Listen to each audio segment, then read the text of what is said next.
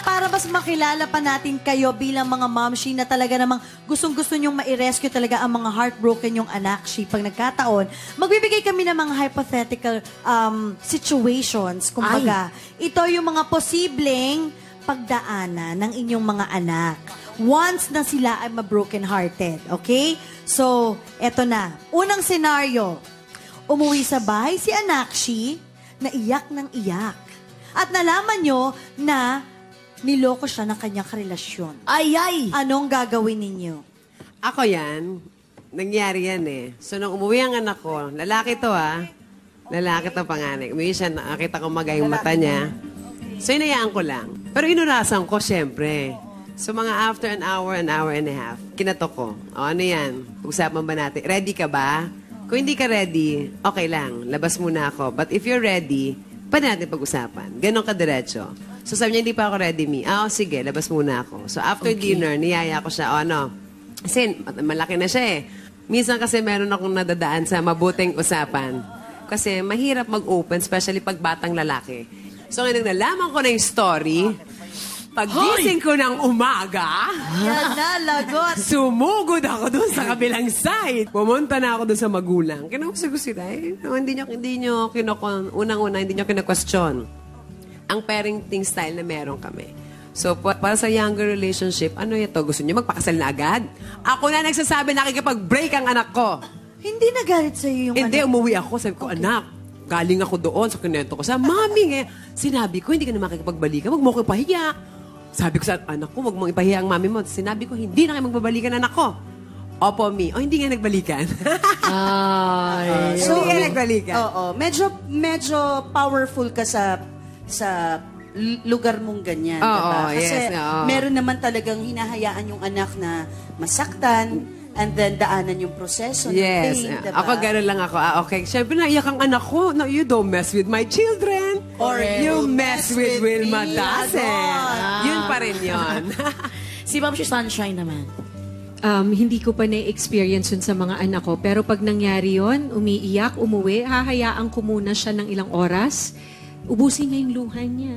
And then, um, kung gusto niya na mag-share, hayaan din natin ihintayin ko. Kasi ako talaga, ano eh, very confident ako na mag-share ka agad sa akin ng anak ko. Kasi konting kibot lang, kahit message, Mom, I got this message. What am I going to say? Ganyan, ganyan. So, parang alam ko na kung mangyayari man yun sa mga anak ko, ako kaagad yung tatakbuhan nila at sasabihin nila yung storya kaagad sa akin para makapag-advise din ako kaagad. Kasi alam ko naman na talagang proseso yan. Pagdadaanan ng lahat ng tao ang masaktan. Correct. At that thing, that experience will make you a better and stronger person. Dyan, Tess. Ganon. Siyempre si Ma'am si Nadia, meron na yung Oo. experience. Baka lahat na itatanong nyo may na-experience.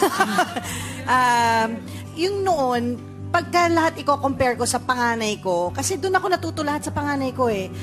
Hindi hindi ko makakalimutan yung unang pangalan nung nag-break ng heart ng panganay ko. Siyempre, dahil iba, iba yung tagos na nakikita mo siya na umiiyak na sa kwarto. Sinabi ko, ba't ka umiiyak? Sabi niya, no ma, kasi ganito. Eh, Hanggang sa inamin na niya na nag-break nga sila. Tapos sabi ko, Nak, yan naman parati ko sinasabi. Umiyak ka na ng umiyak, pero huling luha na yan. Like what Sunshine said, heart, we have a heart, and it will always be broken, it will always heal. Nasa sayo na yun. Pero, yung, yung ating, yung ating, uh, you have to guard yourself eh. You cannot let what something, kung ano yung nagpahirap sa'yo ngayon, dapat tanggapin mo bilang natuto ka. Hindi yung yun ang magdadrag sa'yo pababa.